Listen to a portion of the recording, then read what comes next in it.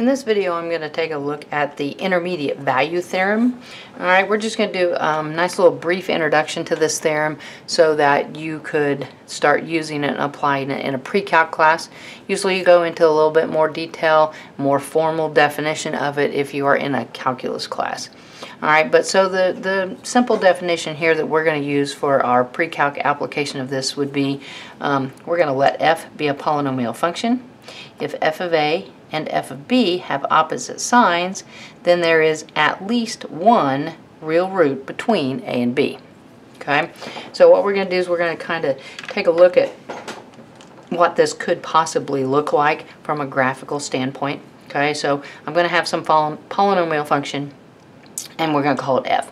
Alright, I'm going to have an f of a and an f of b and if I force them to have opposite signs, then what this is saying is then there has to be at least one real root. Could be more, but there has to be at least one. Okay, so um, maybe let's suppose our A, our interval here is going to be A, and our interval over here is going to be B. All right, so in this interval, and then let's just say I've got a random polynomial curve like such. All right, we'll call this our f of x. All right, so then the way I have chose to draw this right here, okay, well, if I do f of a, well, I would go to a, plug it into the function, and it would be right there, in which case, then f of a would be less than 0 or negative. All right, and then for my f of b, I would go over to b, I would go up to the function, and it would be right there. And this would be f of b, which obviously is greater than 0. So I definitely have an f of a and an f of b that have opposite signs. All right, so then now the theorem states that we have at least one real root. Okay, and that real root is, let's not use that color, let's use blue so it stands out a little bit better.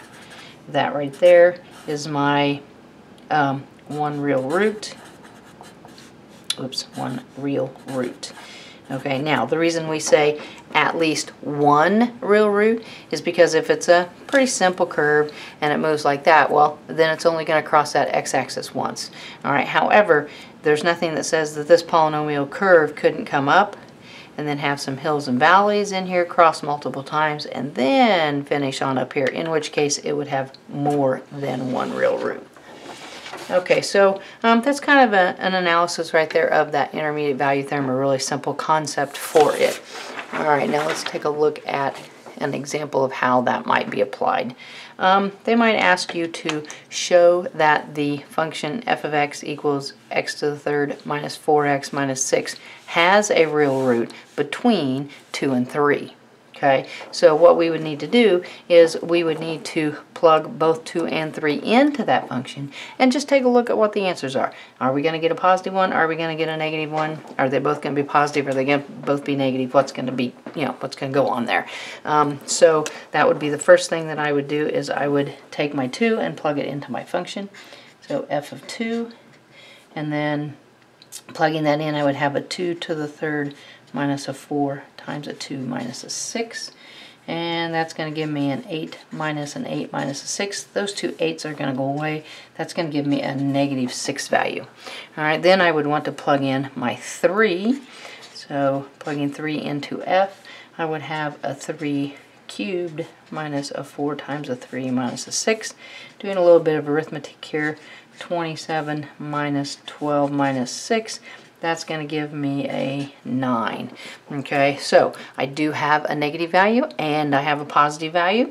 So somewhere in that interval from 2 to 3, then yes, I am going to have one real root. This function will have one real root.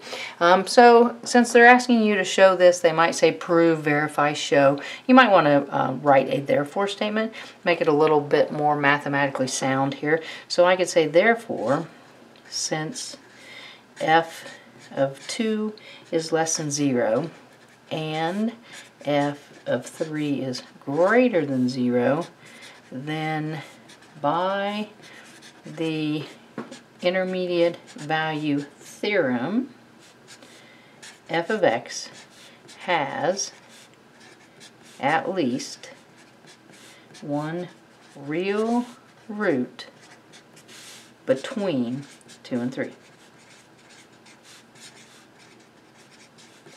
And really, all that intermediate value theorem does is just lets us identify whether or not there's a root in there. It really doesn't give us a way to find that. Okay, now you could use other methods to find that root if you wanted to, but we just are really trying to verify whether or not one exists.